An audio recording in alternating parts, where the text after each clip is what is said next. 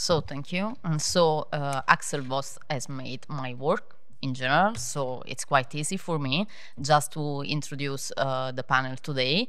Uh, basically, I will be here uh, together with one of the other member of our internal task force, which is here with me, uh, Leandro Guerra from uh, Experian, and we are basically interested in artificial intelligence, and in particular, we are working so close uh, on artificial intelligence among these members of task force and so on, because of course, one of the main topic here is the proposal on artificial intelligence. That is to say, the proposal issued by European Commission in April last year, uh, which is particularly relevant for us because not only because we are in the Annex 3, of course, but also because we are uh, exploring as industry the benefits of artificial intelligence. Because artificial intelligence is not new, as the uses of artificial intelligence are not so new, and we are using particularly based on our internal check for enhance the access to credit, basically for um, a new to credit score, for the inclusion of uh, migrants, young people, and so on, where we have no such information. As we have seen, the access to data and information, as we have seen in the previous panel, is one of the first objective, of course, to be uh, performative in our scores and so on. So I will uh, leave the floor now to Leandro Guerra, my colleague. He's uh, head of data science uh, for EMEA in Experian, and he will explain us which is the uses of artificial intelligence right now in our industry and which are the focus in terms of, of course, the more ethical aspects related to fairness or, for example, explainability, which is one of my obsession, as you know. Thank you, Leandro, please. Thank you very much, Elvira, uh, for the introduction, and uh, good morning, everyone. Uh, well, my name is Leandro Guerra, currently head of data science and analytical platforms for Experian in EMEA. And um, it's quite interesting because whenever we hear that word or that couple of words, artificial intelligence, our imagination pretty much blows up. We can think from Arnold Schwarzenegger and the Skynet up to systems that we use nowadays. Now, from my perspective, um, there are many things that they should and they are being actually clarified on exactly uh, what does it mean and what are the benefits that we can take out of it. So if you go to the next page, please. Um, I'm going to be touching some uh, key points on our conversation today. And uh, the emphasis that I would like to give, it's around the benefits that we can have out of that technique. And uh, there are some myths, I would say, that, for example, AI, it's a black box, we don't understand what it's in there. Well, they are not necessarily true. If you would go next, please. Uh, one of the main points, it's about um, for quite a long time, uh, if we go to the next page, uh, please, um, the deployment and the lack of explainability uh, of uh, artificial intelligence or machine learning models were the main barriers uh, in the industry overall. So here I'm not specifically uh, talking about just one segment. So we have these uh, this research that was conducted together with the Forest Consulting Group, where they have stated, I mean, uh, there were uh, the, an interview with about 600 decision makers around the world, and they have placed it pretty much that uh, the lack of explainability of a machine learning model and the challenges of deploying them were the main barriers that were preventing uh, larger adoption, which it's fair enough because you always need to consider the trade-off when you, are implementing a new technology. But the, biggest point is, and here it's, the, it's one of the first aspects that I would like to touch. So if you go to the next page, please. Uh, the machine learning technique overall, it's not a black box. So there are, as naturally it happens in every industry, innovation every year. So in the beginning, that was true. Eventually, yes, it could be considered like that. But uh, since that this was a problem, we had the best minds in the world thinking about how to solve that problem. And uh, actually nowadays, there are several techniques that can explain why a particular machine learning model took a decision in a very transparent way. And the other aspect it was related to, well, maybe an AI system, it's hard to manage. Well, not necessarily, because it's all about proportionality. So it depends what you are doing with that and to what specific application you are handling uh, the utilization of that system. So when we think about uh, the credit risk industry very much, what we can see is that whenever you are developing something that even could be uh, thought as a, as a machine learning or an AI system, all these steps that we have to follow in order to develop the model it's exactly the same as the one from the traditional or the so-called traditional techniques. So we need to take care about the data that it's uh, coming in. We need to prepare that data very carefully. We need to understand the attributes. We need to develop then the model. We need to test it. We need to validate. We need to document, and then we need to deploy, and then we need to maintain and provide the support. So exactly all the steps, they are pretty much the same. And uh, what it's really important is that, well, maybe uh, we, we are used also to think the machine learning models, they are used to that particular final output. So I would provide a score or a kind of a decision. And that it's, uh, uh, it's kind of incomplete, I would say. If we move to the next page, please. You can use the machine learning models as well to improve the data that you are bringing into your model. So we, we have seen uh, uh, our, our colleague from Schufa in the beginning saying that, well, if I have uh, better data or more data, I could have better outcomes. And the benefits were there. So they were about reducing, I mean, the, the, the number of uh, bad customers improving the scores of several people that eventually they would not necessarily be included.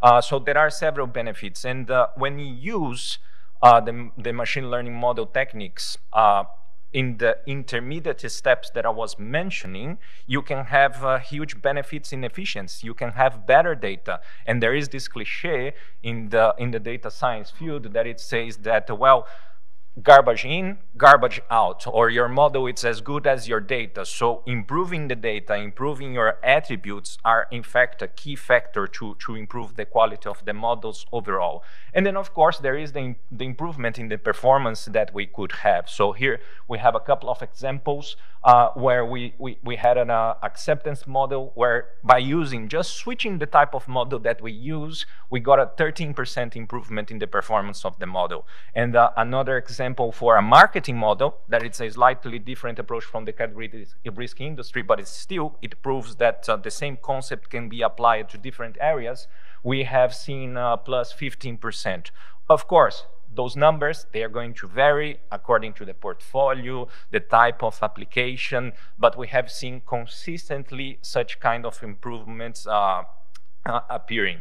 And then, of course, one may think that, well, those are might be specific points around uh, uh, uh around client data only or some some specific field.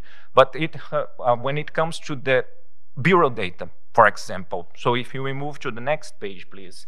And uh, particular for me, here is where the, the results are, are extremely outstanding. Because uh, when we think about uh, the credit scoring or its application or the application of machine learning uh, when it comes to bureau data, we could see something I mean, in my perspective, it was uh, it was incredible because uh, by applying such kind of methodologies, we could have 12% uh, more performance or more accurate scoring on young or riskier segments.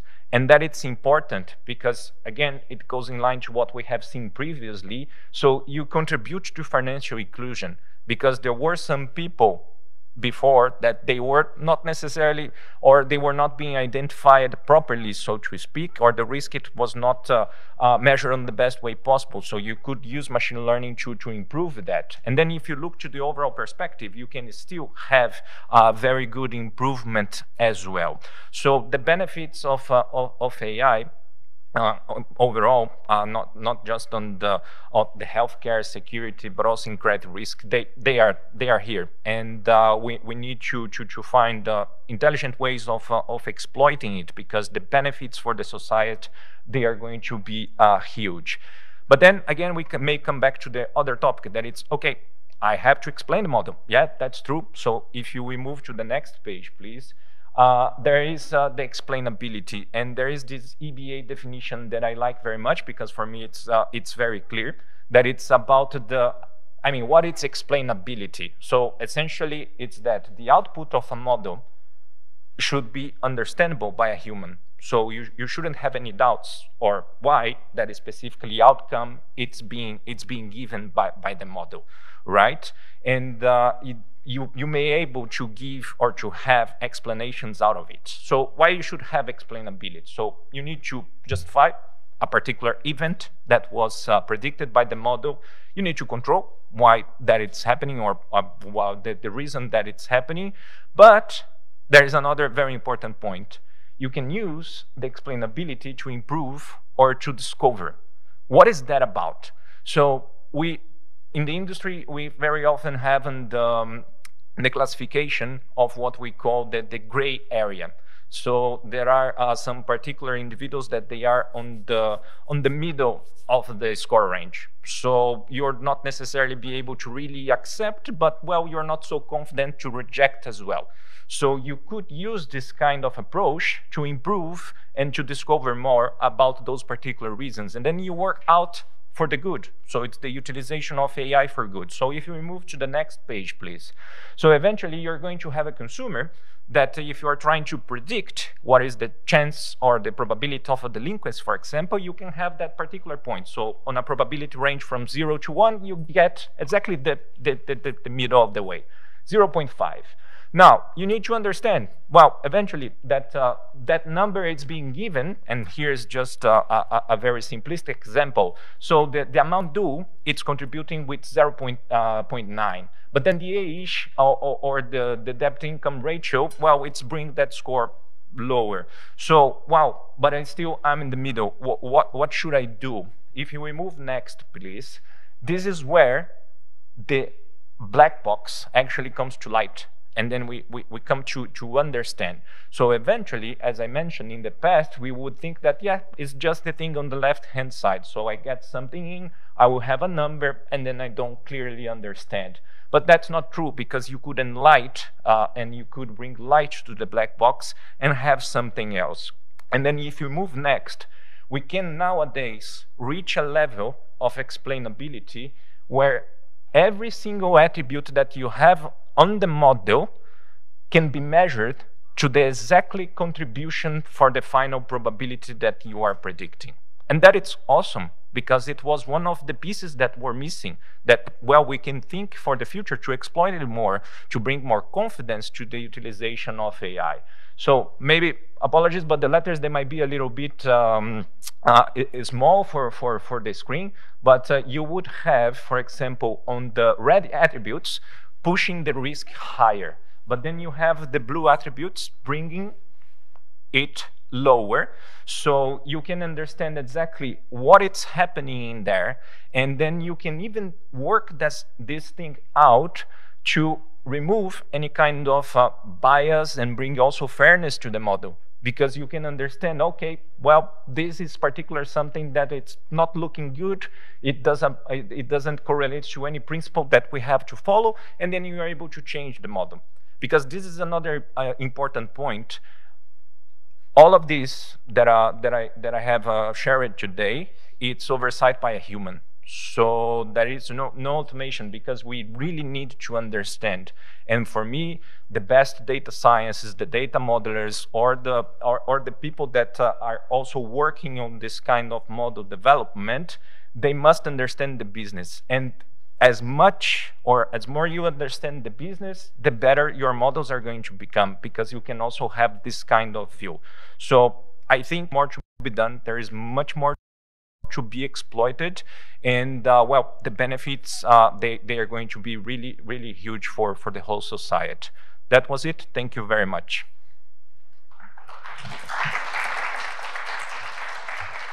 Yeah, thank you, Leandro. Bring uh, to the table also all these technical aspects in a table where I share the background with my uh, co-panelists here, because we have here with us Yordanka Ivanova, uh, here from the DG Connect and from the legal team who writes the, the proposal on artificial intelligence that we are going to, the, to discuss. She is a legal and policy officer. And next to uh, Yordanka, we have also David Brinkman, who is the senior legal counsel from the European Central Bank and we'll discuss with him also the aspect and the, um, the view from the European Central Bank, starting from the opinion that they give that they gave on uh, the proposal uh, at the end of last year, and finally, at least but not least, of course, we will have also the consumer view, thanks to uh, Agustín Reyna, which is who is uh, director from the Legal and Economic Affairs from uh, BEUC.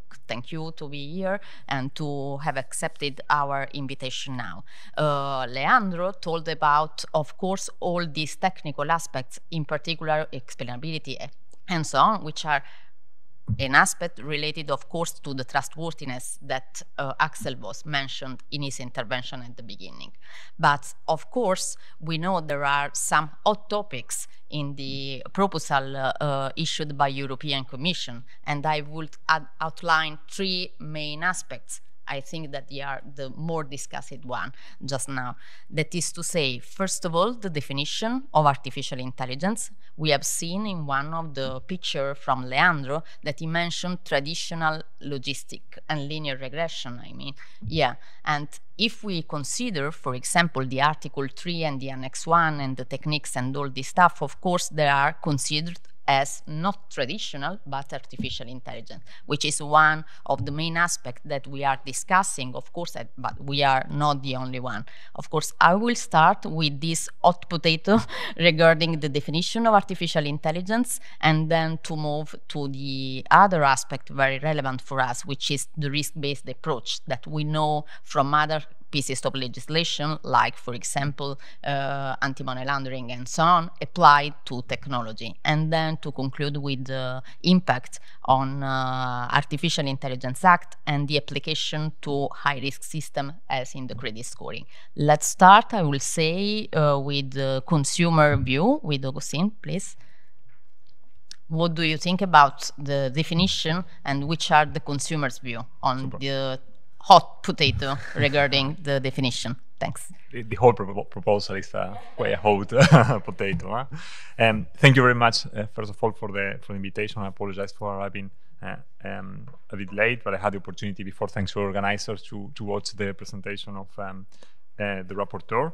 Um, before going into the discussion, specific discussion on the um, uh, definition, um, I would like to very briefly react to your to your presentation, which think you, you gave a, a, very interesting example about how AI, you know, could develop, you know, in, in a way that can uh, provide some um, meaningful uh, solutions. And clearly, the transparency, explainability is an extremely important aspect, something that wants to be also highlighted by the um, by the Commission's uh, own own proposal.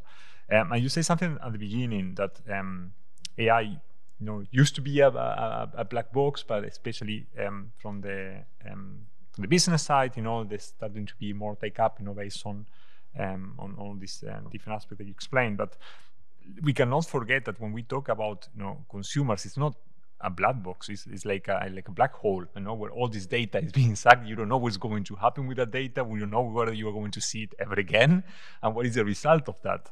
And uh, I just just want to bring to, to your attention a, a survey that we did um, in BEUC with our members at, uh, at national level, and actually the, the the level of trust is, is quite low. Um, so, for example, um, we survey um, consumers across the, the union.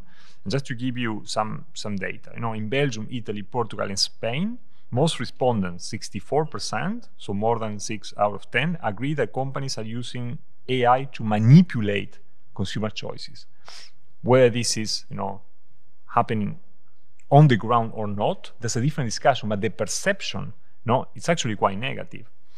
Uh, trust in voice virtual assistant, for example, varied from 40% of Swedes expressing low trust in them to up to 71% in Belgium.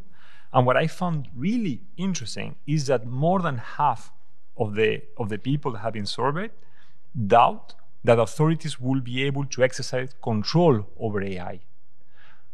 Again, whether this is happening on, on the ground it's likely to happen or not, but this is the perception that people have.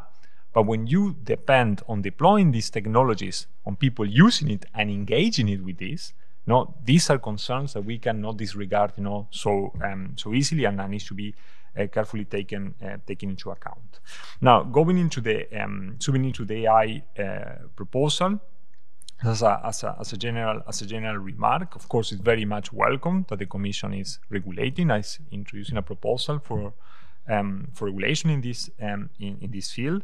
But what it's kind of surprises, you know, is that the the word consumer or user, you know, is pretty much absent in the sense that if these uh, uh AI systems are going to concern people, no, and the fact that these people are not representing or the interest not um, really voicing the in the in the legislation as such, well, that that poses some questions, which are um, of course important when it, when things go wrong. You know, specifically looking at what are the, the, the rights that people should have in case of, uh, shortcomings, so on and so forth. But we can we can talk about that later.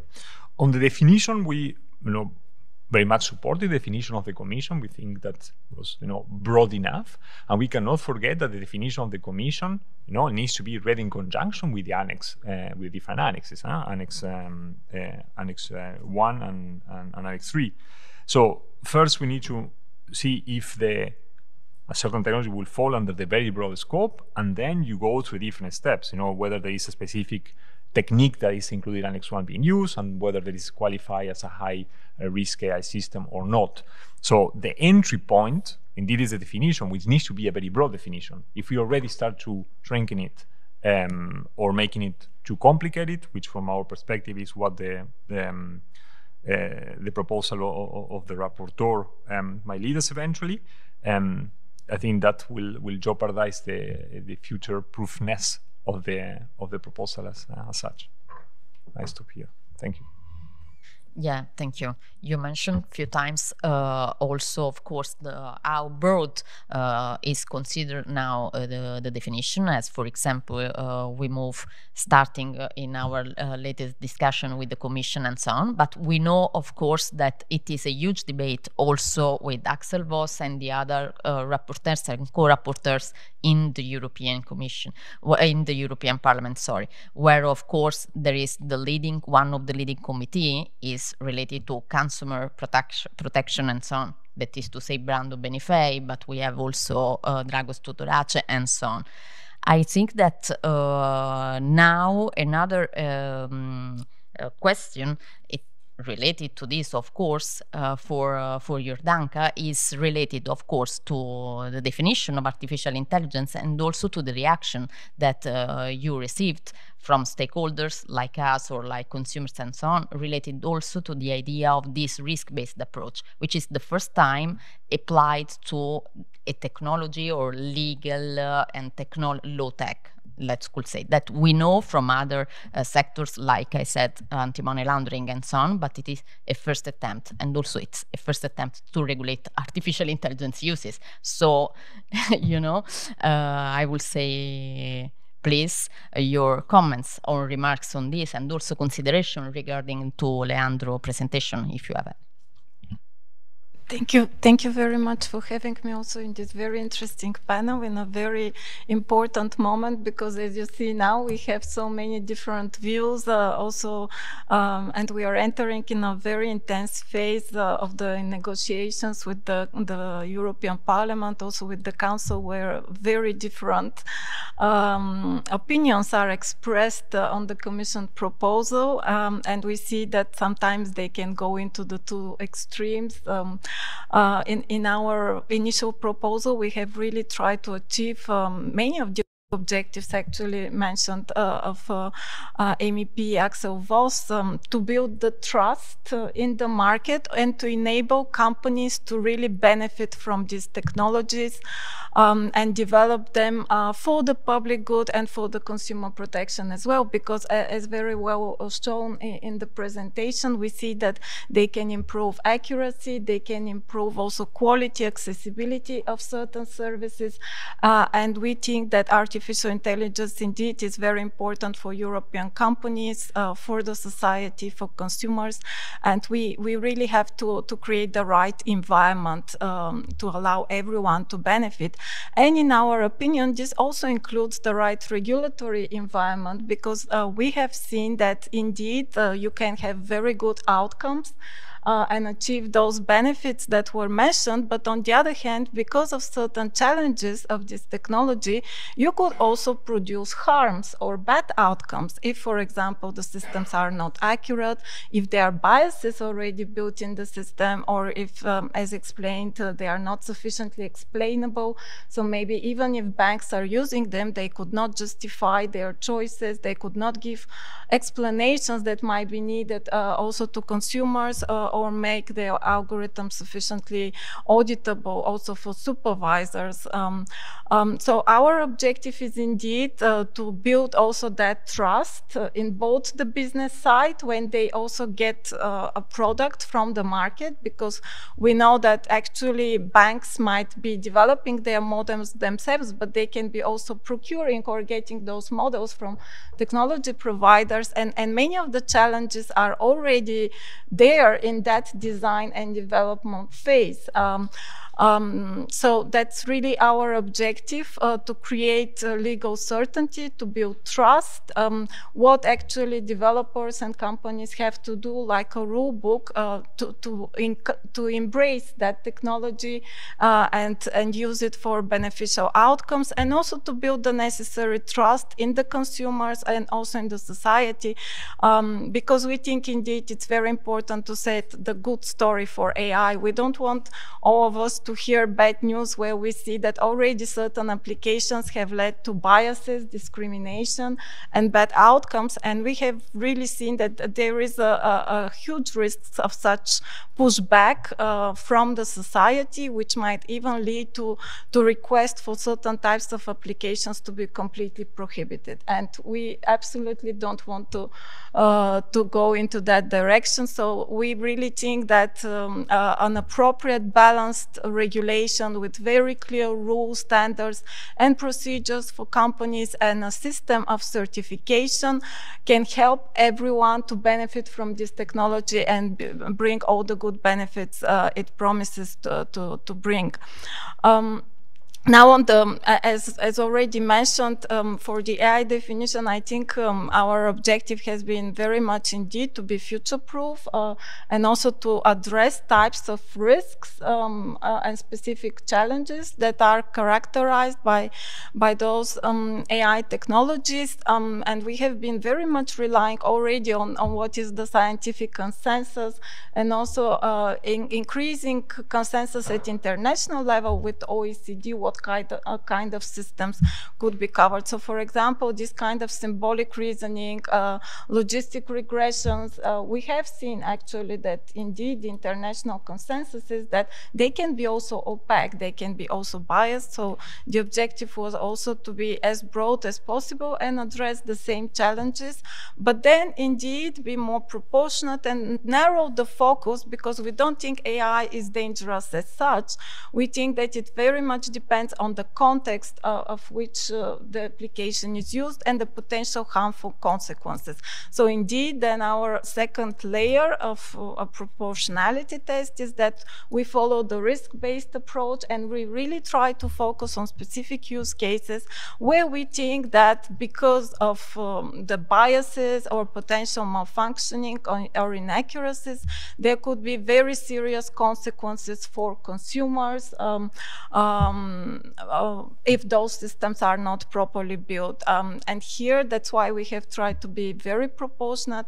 And we think that the creditworthiness assessment and credit scoring for consumer protection, for consumer applications specifically, is potentially such a case because it could really determine the life um, and, and the access to finance or even lead to financial exclusion if, as mentioned before, those systems are not uh, properly built. In our assess, in impact assessment that accompanies the proposal, we have indeed done a thorough assessment of, uh, uh, of the potential harms uh, and also of the potential relevance of existing legislation because AI is indeed not existing in a legal vacuum. And our assessment is that even for the financial sector and for credit institutions that are very well regulated, uh, those kind of specific challenges, uh, how those systems are built ex ante for fairness, explainability, whether they are properly tested in advance before they are really started to be used. Uh, we don't have such existing specific rules. And uh, specifically for fundamental rights and consumer protection risks. And, and here we respectfully disagree with uh, MEP Voss that that could lead to, to full overlap with the existing financial legislation because there uh, either we have uh, the prudential uh, supervision legislation where we think more about prudential risks for financial stability and there we have um, Michael will, uh, David will talk uh, more about this, but certainly we don't see an overlap with with with the risks covered there. Uh, but we've really tried to make consistency and make the system as smooth as possible for regulated banks. Um, and also we have, um, let's not forget, many other players that are completely not regulated, and we think we should also have this level playing field and have the same standards because our objective is uh, then to, to really create and help companies develop those systems in a fundamental rights manner with uh, fairness, explainability, the right of auditability, make those standards available to everyone so they can also benefit uh, from those available solutions and they can uh, rely on the certification scheme we propose to, to really claim the trustworthy benefits of their systems. Thank you. Yeah, so thank you. Uh, thank you for uh, your view. Of course, we have some uh, thoughts about, for example, the impact assessment for our sector and so on, and also basically related to the use of linear or logistic regression, which has been using for decades in our sector, and in particular in this regard, in the difference between the provider of AI system, which are our industry here, and the financial institution and so on. But uh, now I leave the floor to, to David, in particular on this aspect, which is the sectorial aspect. Uh, in particular, uh, ECB gave its opinion at the end of last year on Artificial Intelligence Act regarding also the use of some techniques and the um, need for a neutral approach in terms of uh, type of technology and so on. So please, what's the view of ECB, David, on Artificial Intelligence Act, in particular for our sector? Yeah, thank you for asking. Um, uh, I'll, I'll, make two remarks in advance. Um, I, uh, first of all, the uh, opinions I express here are my own. Um, the ECB has already published its opinion. I can highly recommend people read it. You can Google it, ECB opinion, on artificial intelligence regulation. You'll find it. Um, but of course, my opinion and what I have is strongly aligned with what we've said there, um, uh, unsurprisingly. Um, second remark is um, I want to praise Leandro for his tribute to the Terminator. I think if you discuss artificial intelligence, definitely move, uh, mention the Terminator. I love that movie. Um, but now more seriously, um, about uh, the definition. well, we recognize that uh, the definition should not be too narrow uh, because you know, we want to ensure that future developments in AI are covered. Um, so in that sense, we can, we can follow it. Um, but in the opinion, we also explained that some techniques should not be um, should should not be covered uh, in our opinion um, by the definition. uh, like straightforward systems that do not um, exclusively determine access to finance that can maybe be considered to be exempt or treated more leniently. And the key issue here is proportionality. The definition of AI used in the AI regulation is broad and may capture several relatively straightforward, frequently used tools, contributing to its customer's credit score. An example that's been mentioned many times already is the simple scorecard used in logistic regression. And due to the use of these tools for credit scoring, the AI regulation would consider them high risk and imposing then strict requirements. And yes, we support harmonized rules and also the cautious approach to trustworthy AI. But we also acknowledge the efforts by the legislator, and we also acknowledge the efforts by the legislator to provide, uh, as just here, a future-proof definition. Uh, but proportionality remains an important point. A more proportionate approach could be to consider AI models used for credit scoring as high risk only when they entail greater potential complexity and explainability issues than a simple regression.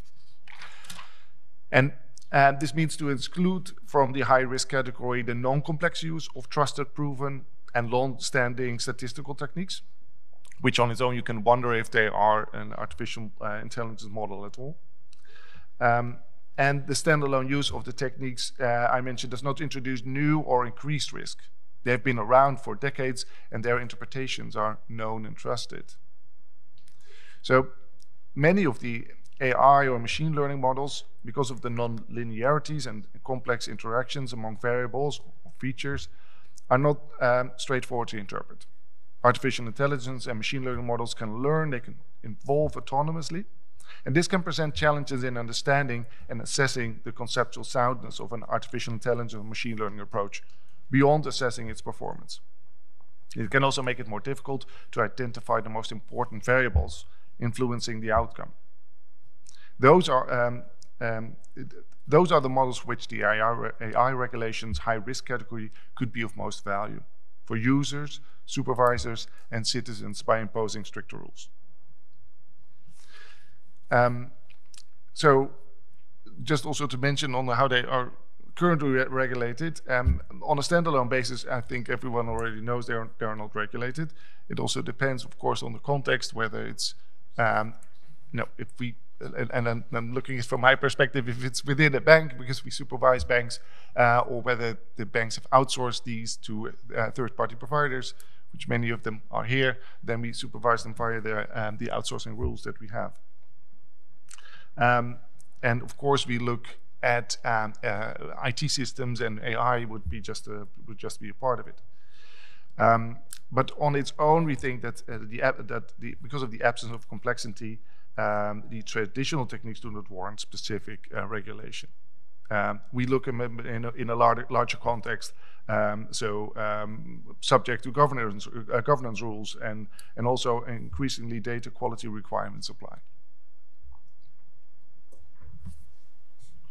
Yeah, so thank you for this first round of answer and questions. I invite the public also if uh, you have some questions to rise and so on, because I have so many questions for you uh, for years, but we have uh, only, I think, like uh, mm, 10 minutes.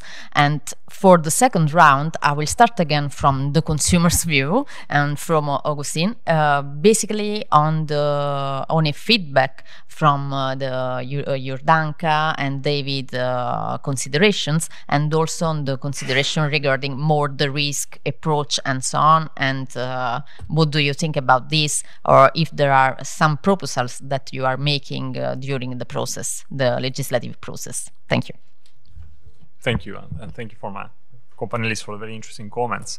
Um, as, as, as, you probably um, uh, know, BEUC has been um, quite skeptical about adopting a risk-based approach, generally speaking, to, to regulation, um, especially if there are not necessarily safeguards for situations that do not imply a non-risk activity or other than high, other than, than, than high risk. Um, uh, having said that, of course, the, the, Commission has decided to, to go through the path of um, a risk-based uh, approach to um, to AI system to, to work on that uh, on that basis. And there, there are two elements that perhaps worth mentioning. On one side is um, effectively trying to identify um, which are the AI applications, you know, that will merit to be qualified as a high risk to be included in the um, in the annex in the annex three, which basically is a, is a I wouldn't say it's a political decision, but it's a decision that we need to take as a society in which we in which we decide which are the high risk activities that we want to regulate specifically under these under, under these rules. Um, in, in, relation to creditworthiness um, assessment, this is something that has been already included, something that we also ask um, to, to include, and I think that has been voiced by the, both the European Parliament and the, and the Council, is the inclusion, for example, of AI, which is used to assess if someone is eligible to obtain an insurance in the field of um, financial services. You know, there are also other suggestions in other, in other fields, um, but trying to identify really what are those um, applications that we as a society consider that are high risk. But then it's the whole question about what happened, you know, with the non-risk uh, and the non-high risk uh, AI and what will be the, the minimum safeguard. And there we are we are we are asking um, to have um, some uh, baseline uh, legislation in this in this regard, and of course do not have to follow the same requirements as for high um, high risk because there is a reason why they are regulated as, as, as high risk. Um, but certainly there should be some some some minimum uh, requirements. For example, the right to redress, not the right to uh, pose a complaint as, a, as an individual um, uh, before a, a, competent authority, the right to be represented as um, in, in the context of representative action, for example, a collective claim if there is a, mass harm on a, on a group of, uh, of consumers, and of course the right to be compensated. So these are kind of minimum things that should be present regardless of what type of AI, of, of AI you are engaging, whether it's high risk or not, because um, in, in, in, many um, scenarios, consumer will not necessarily be aware of the of the level of risk that the, the legislation has um, has qualified this specific uh, AI system to to bear. Thank you. So, so thank you. Now we have also some questions from the audience. Sorry, I was a little bit analogic. Uh, yeah, I think that it will be a questions both for uh, Yordanka and for David because it's related to the supervision and to responsibility of supervision. And the question is, who will be, or I will say, could be, according to you, responsible for the enforcing of the Artificial Intelligence Act regarding the credit scoring in the single member states? And how will they coordinate with the, the financial, of course, regulators and the data protection authorities, which is another hot potato, I think. Yeah, for Yordanka and David, I think it will be good to have your view about this.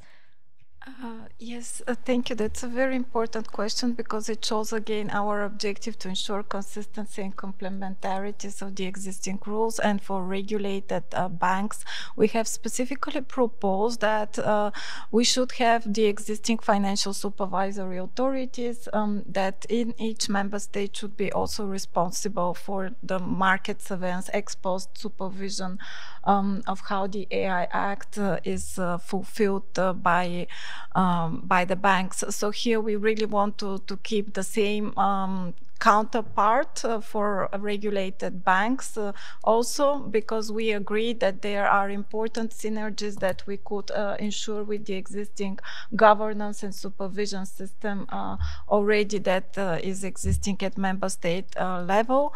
And we have of course very carefully read also the ECB opinion and we have had a very good discussion um, for the potential role of ECB because you know that they are for very large banks uh, it is the main supervisory authority, and here I'm sure David will say more, but we have really tried to clarify that because this is a new task uh, and it's not already envisaged in the mandate of ECB according to the treaties and the existing legislation.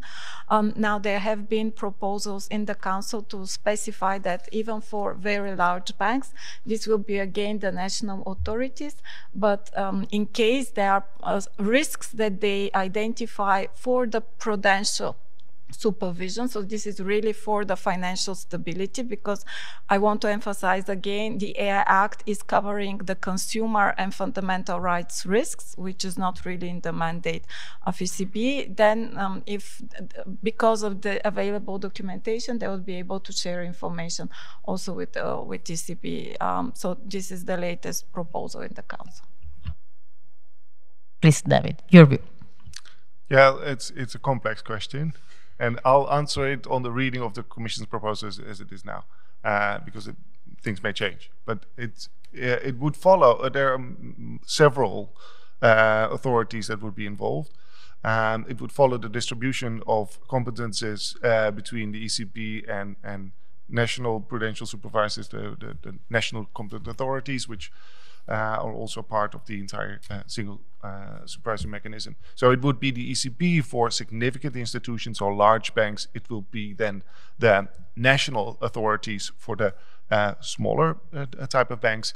There will be other type of supervisors because there are other elements that fall outside our mandate. We are a prudential supervisor. So prudential supervisor basically means we check if the bank is financially sound. Uh, we do not um, um, so much look at sort of the market conduct uh, issues or our um, fundamental rights of citizens, uh, at least to um, it's nuanced. Um, so I expect that market conduct authorities, national market conduct authorities will also, uh, and privacy authorities will also be involved. Um, so that sounds like bad news because one of the elements of the question was how are you going to resolve these and how are you going to cooperate? Um, the good news is that the ECB is used to discussing with other authorities. Uh, as you know, the, uh, the, the, supervision of banks is already distributed between uh, significant institutions and less significant institutions. Uh, so we have uh, some experience there. Um, so if there needs to be some uh, coordination, we're confident that we will manage thank you. So it will be helpful for industry uh, to to know who is our supervisor and so on and all this stuff in order to not du- duplicate our work and uh, you know someone uh, something for the data protection, something and so on. So we are hoping that also this aspect will be fixed. And if there are no more questions from the audience or no from this technical side we have no other questions. I would like to thank you. Yeah, great. Sorry, I didn't see you. Please introduce yourself. Hello, Pekka Liukkonen from Enento Group, so representing uh, credit bureaus from, from Sweden and Finland, essentially. Uh, for Leandro, uh, regarding the uh, explainability and in, in the, I suppose, three models in, in this case, uh, specific approach that you showed seems like it is going into the details of that specific uh, credit decision, right? So you essentially see if you have payment remarks, let's say, then that's bad thing, and, and it's, giving a negative impact, impact on your credit score. Uh, uh, how would you answer in those situations if the customer then follows up with the question that, what about if I change this attribute from my data point? What is my score then? Because the underlying tree model in the background, uh, it can happen anything. You change one bit of loan, for example, and you will get completely different result from the uh, actual credit model. Yeah, sure. So actually, this goes to the fundamental way of uh, of developing the, the, the risk models. I mean, regardless the technique that you use.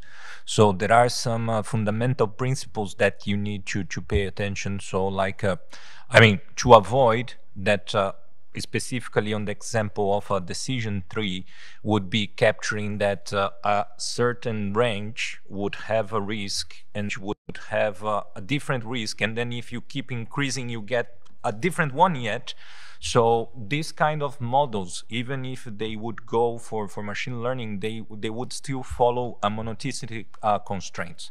So we wouldn't accept such kind of behavior on the model. So to, to really go to the point of a nonlinearity, for example, would uh, would uh, would confuse or would mix uh, the, the, the, rationale behind the model. That's why um, I mentioned that it's important that the person that is developing the model uh, needs to know the business that they are in and the rules they are playing, literally speaking, because then you can uh, interpret what it's happening in the model. So you go there and then you fine tune and then you go there and you you correct. So you avoid that such kind of points are going to be uh, an actual issue. So, and uh, and here in particular, that highlights the point of uh, of using the explainability to to understand and to improve, because you are going to leverage I mean, uh, let, let put that way, you would leverage what you have the in, I mean, the best of the two worlds. So you could really exploit uh, a more powerful calculation to, to improve certain aspects, but it's still you keep a human uh, oversight of what is happening. So you ensure you have the both of the two worlds. Luis Carmona, I'm a vice president of FEBIS, the uh, business um, information providers. And I'd like to make a question directly to, to you since you are here. You've been so easy, uh, to be here. Um, it's just a question on on what's going on with the Axis, well, no, the AI proposal, because it's, a, for me, it's one of the biggest challenges. New technologies is one of, one of the biggest challenges in the last decades for our industry. And I wonder if we really do believe um, that we are going to embrace it. Because we've been investing a lot in AI from our particular companies, and we've seen that, and this is a fact, that if we use it properly, we could find out, we could prevent thousands of cases of fraud and a cascade effect. Do you know what a cascade effect is in business, micro business especially, that's mostly impacted when one company has a is a fraudster and leaves a, a lot of debts behind, it affects other in their area of action, it affects other businesses. And mostly they are micro businesses. We are in direct um, uh, conversa conversations with the Federation of, uh, of SMEs, and we do believe that there is a, a future if we use AI properly. My direct question is, would you be uh, happy to list uh, maybe four or five cases where we go, we could go deeper. We will, um, the new legislation will allow us to go deeper um, without consent of the director. I'm particularly talking about director's behavior. If we don't have the consent, we cannot go ahead and use the AI on them. I wonder if you have that in mind. If we have four or five cases where we could go to go deeper on the director's behavior for businesses, especially micro businesses. I wonder if there could be an option for you. Sorry, but could you clarify without directors' consent? Yeah, the directors, well, the board of directors, sometimes their behavior is, is crucial in terms of finding out who is a fraudster and who is not. And without their consent, we cannot go deeper at all. So I was just wondering if you could exclude from this proposal maybe four or five cases, or maybe three cases, where you'll say, okay, it seems like it's going to be a fraud, so we will just keep it, and you could use the AI techniques to go deeper. Yeah, okay. I think uh, it, it we should clarify that actually the AI Act does not propose to classify at all as high risk uh, those kind of uh, AI systems used for uh, fraudulent detection of fraudulent behavior. So basically you are completely at, at, at not affected at present because there is only one use case which we propose now. If you compare it, it's it's really minimal impact on, on all the various applications that the finance sector uses. Uh, uh, we could add more in the future, but at present it's only this one. And, and, then in any case, we don't think we would go in such level of granularity of uh, really regulating uh, the internal processes. Uh, uh, but, but rather focus on exactly these uh, very common basic principles that are now, I think, an agree there is an agreement that uh, at also EU and international level about uh, the, the explainability, fairness, uh, auditability, documentation, because it's still a horizontal legislation. It has to be applied in a variety of uh, of different uh, use cases. So I don't know if I I hope I replied to your question, but I think there is more space maybe for the financial sector to, if needed, uh, if there is such a need to to look deeper into that issue.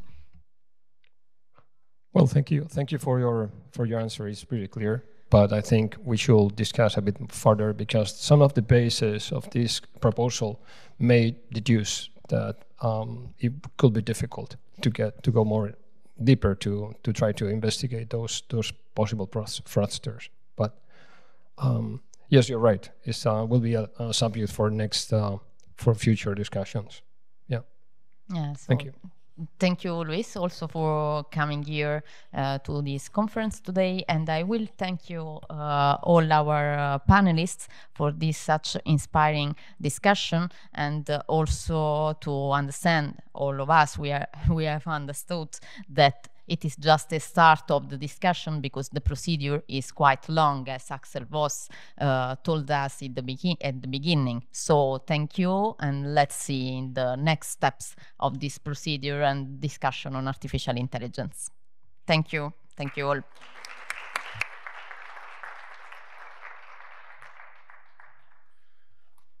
Yes, and from my from my side, thank you very much, Elvira, and to the speakers for for your discussion. Um, Leandro, not only you made an AI model explainable, I think you made, together with the colleagues, the whole topic more understandable. Uh, so I thank you for that. Um, I would like to encourage you, as David said, to uh, read the ECB's legal opinion, which is someone was asking me, I think it was published at the end of last year, around December, if I recall correctly. So that is a little bit of homework from my side. Okay, we are now coming to the first um, break. Um, we will be uh, resuming at quarter to 12. So you have around 20 minutes to uh, push up your caffeine levels. So I'll see you in 20 minutes time.